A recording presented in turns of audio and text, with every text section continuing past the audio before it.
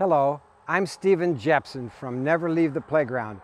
That's neverleavetheplayground.com. That's where you can find us on the internet.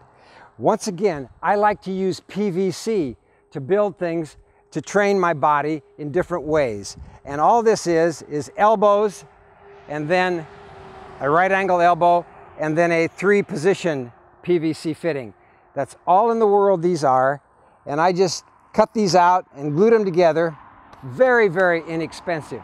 And what I use these to do to train is step overs. I try to imagine what we did for thousands and thousands of years as hunter-gatherers. How did we train our bodies to move and, and what did we have to do on a daily basis? Just recently I was in New Mexico walking along the Rio Grande River with my sister and we got lost and we had to pull ourselves and climb through the brambles and the briars and I got kind of scratched up and so forth, but we went down low and we had to step over things. And that's what these are. These are, I call these my step overs. And this is all in the world I do with them is step over them.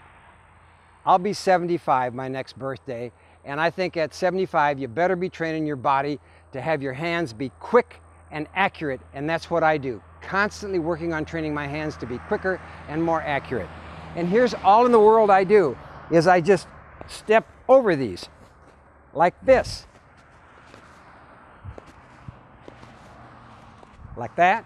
And then that was with my left foot forward and now right foot forward.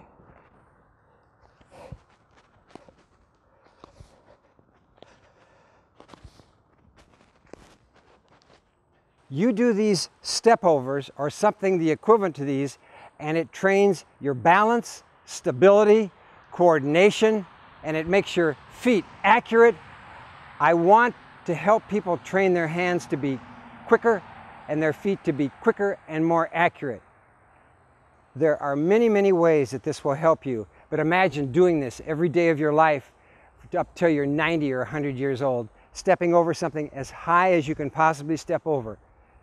I'm Stephen Jepson from Never Leave the Playground. You can find me at neverleavetheplayground.com on the internet.